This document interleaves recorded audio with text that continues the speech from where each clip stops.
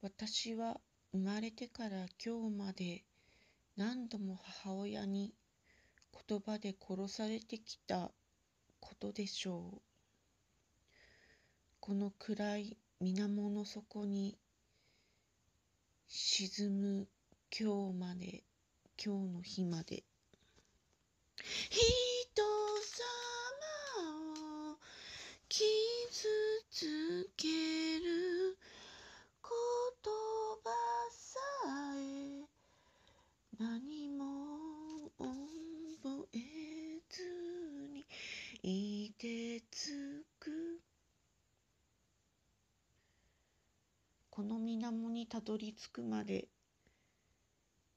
神社教会お寺不動明いろんな神様にすがりをつきましたが結局私は何も